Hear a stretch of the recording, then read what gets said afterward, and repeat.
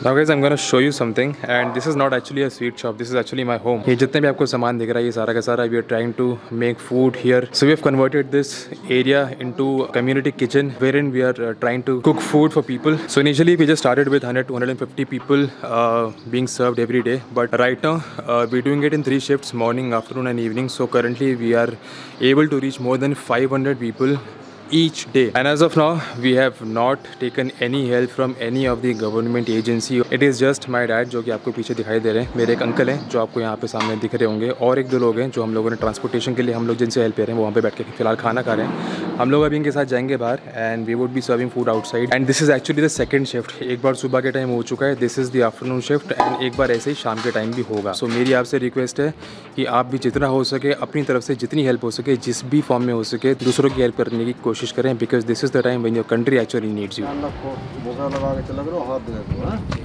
ठीक है? और बच्चों के लिए चाहिए तो और ले लो। दे दीजिए बच्चे एक प्लेट और ले लो। दो बच्चे और हैं। दो बच्चे और हैं तो दो प्लेट चलो दो में दे दो।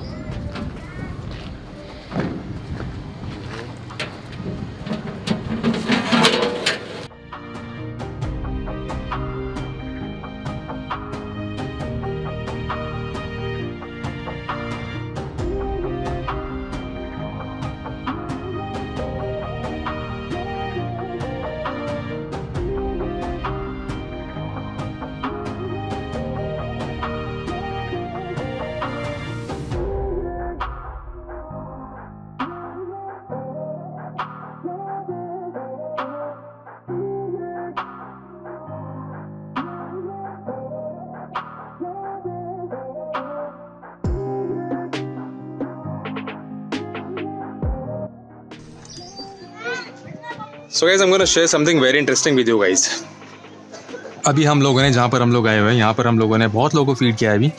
और ऐसे कुछ सात आठ लेबरर्स थे। उन्होंने बताया कि उन्होंने अपनी थोड़ी सी आप बीते बताई सो so, वो कंस्ट्रक्शन लेबरर्स थे और एक लेडी थी। उनके यहाँ पर वो आए हुए थे।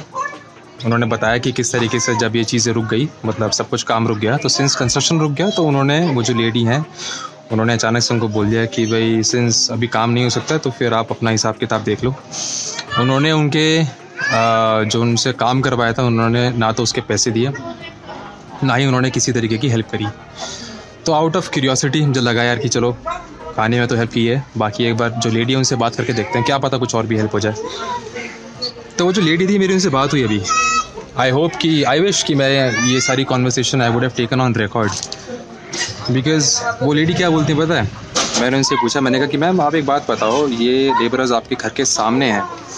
आप ही के काम के लिए आए थे, अब आपका काम रुक गया है तो you have stop helping them out not just helping them out but what they were actually due आपने उनको वो भी नहीं दिया। पता उनका जवाब क्या आया? वेरी एरोगेंटली शी सेड हमारे पैसे पेड़ पे नहीं उगते. मैंने बोला, चलो ठीक है, आपने अगर इनको पैसे नहीं भी दिए डोंट यू थिंक सो कि आउट ऑफ़ ह्यूमैनिटी ये आपके घर के सामने पड़े हैं और आपके काम के लिए आए थे? आप इन्हें अगर दिन में एक टाइम भी खाना दे देंगे, क्योंकि वो सिर्फ़ फ़िलहाल एक टाइम का खाना मांग रहे हैं, तीन में से। सर्वाइवल के लिए जो कि ज़रूरी है। शी सेड कि आपको तो पता ही है कि ये लोग कैसे से होते हैं। ऐसे कुछ फेस बनाया उन्होंने। मैंने कहा सॉरी मैम कहते हैं कि आपको पता ही आजकल वायरस बहुत चल रहा है और अगर होगा तो सबसे पहले चांसेस इन्हीं को हैं होने के।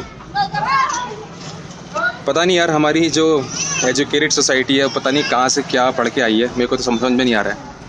आप एक बात सोचो, जो लोग, जो डॉक्टर्स हैं, या फिर जो लोग आज के डेट में अच्छा हमारे एग्जांपल ले लो। हमारे जो हाथ हैं, ये स्टील के हैं, ये लोहे के हैं, अगर हम लोग किसी को खाना सर्व कर रहे हैं तो क्या वायरस हमें नहीं हो सकता?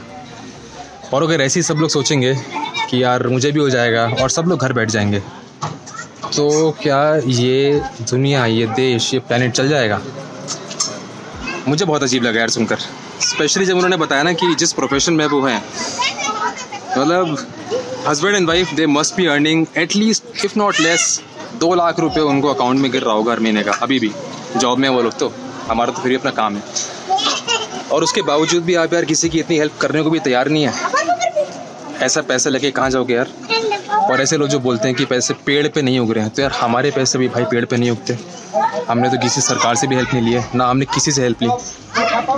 मुझे टाइम्स ये लगता है कि या तो या तो हमारे ही दिमाग में थोड़ी सी कमी है that you know we think too much about others या फिर इनके दिमाग में कुछ प्रॉब्लम है। कहीं ना कहीं तो समथिंग इज़ रॉन्ग खैर एनीवेज गाइज़ बाकी जो लोग यार ये देख रहे हो ट्रस्ट मी यार, किसी की हेल्प करके देखो एक बार, एक दिन एंड यू वुड फील कि रात को बड़ी अच्छी नींद आती है। भैया, थोड़ा फास्ता रख के चलना। बच्चे, पीछे से आ रहे हैं, पीछे से, लाइन में।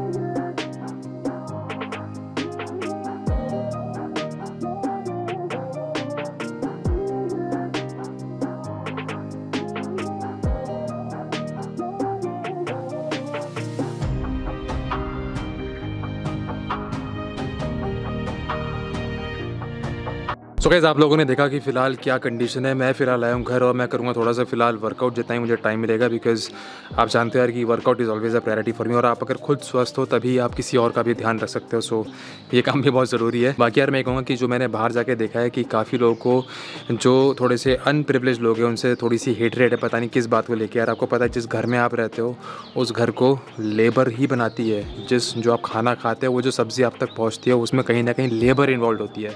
सो यार उनके अगेंस्ट ऐसे हेट दिखाना is not a good thing जितना हो सके यार, अगर आप कम से कम हेल्प नहीं कर सकते then at least don't hate them बाकी यार, हमारी तरफ़ से तो जितना हो रहा है, हम लोग कर रहे हैं, आप लोग का प्यार मिल रहा है सपोर्ट मिल रहा है, हमारे लिए इतने काफ़ी है. Thank you so much guys Chase